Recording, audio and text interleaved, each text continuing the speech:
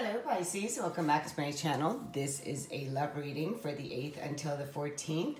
As always, thank you for liking, sharing, and commenting and subscribing to my channel. If you're not a subscriber, tap the button and hit the bell. If you like a personal reading with me, that information is in the description box down below. So let's begin and let's see. I'm going to start out with the After Tarot. I will do clarifiers here and quickly there are three cards that just fell out.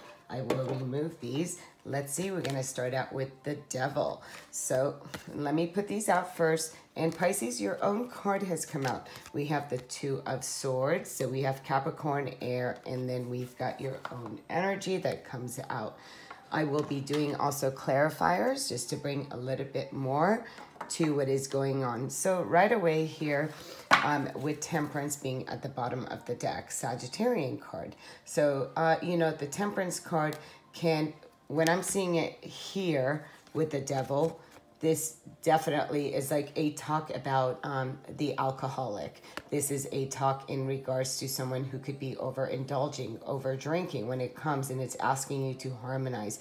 There's a codependency here to some kind of form of addiction, whether this is to a person, whether this is to a substance. This is asking you with the world at the bottom, this is something for you to complete. So there is some kind of addiction, some kind of obsessive negative thinking, behavior, something that is going on within your love life right now. And it's asking you really to bring that to its closure here um, with the Two of Swords. The Two of Swords, the answers that you are seeking is very internal. You cannot hear the messages on the outer because the Two of Swords here uses the intuition of the moon and the feelings within the water. It is not going in the mind. That's why it asks to go in very much blocked energy. So not being able to see things. There's a lot of fear based here. There's shadows.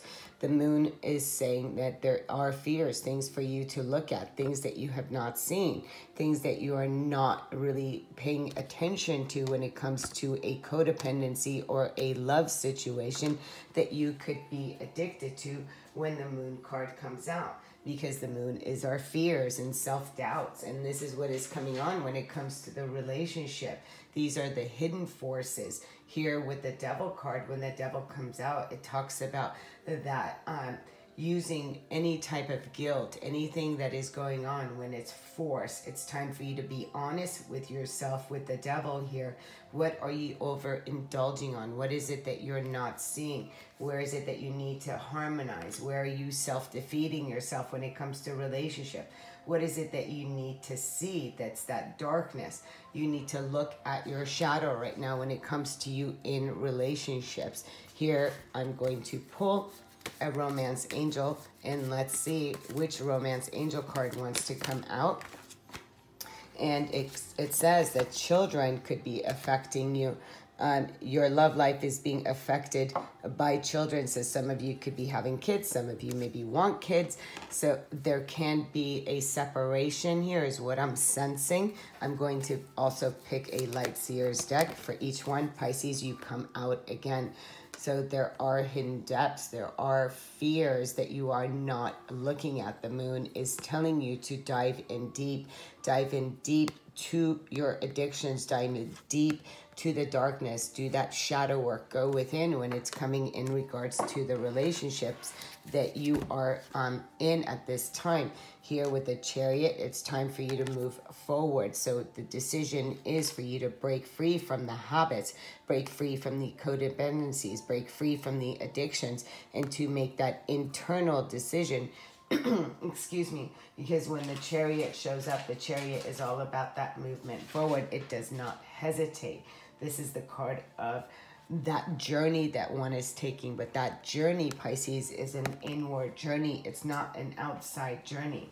This is in regards to your own spiritual progress. It's very much focus, intent. Again, talking about the light and the dark aspect of yourself, of you, of the way you show up within relationships or the way other relationships are showing up in your life, it is a complete mirror effect. Eight of Pentacles is in mastering this. It's in mastering your fears. It's somebody who's sitting down and doing the work. who is somebody who's working on the shadow, on the fears, on the things that have not shown up, um, that are showing up on the external. Here we have within the Twin Flame Journey deck. Let's see which card wants to come out. I'll take one card and I'll take the card of, wow, surrender. I have work to do, walking away. Pisces, and then I have meditation, inner journey, intuition, awakening, and breath. Pisces this week is asking you to look at your addictions, to look at your obsessions, to look at your own beliefs, and to really go inward. The journey that you're seeking in your relationships on the outer, you have your own card coming up twice. And it is saying, you know, what is it that you're obsessing about? Where are you indecisive about? Where do you need to make a change? What is it that you need to surrender to?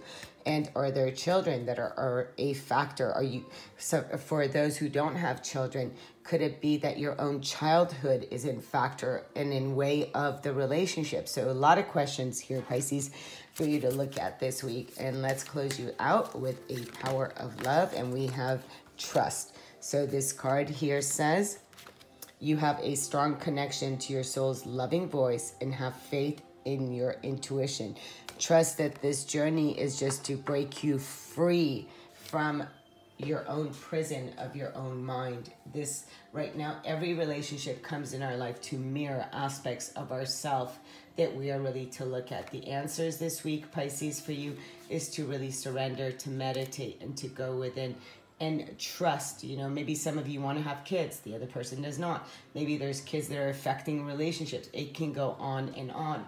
But this this week is asking you. In Pisces, we're in Pisces season, which is telling you to surrender. You have double Pisces. Go within until next week. Sending you much love, much light. Namaste.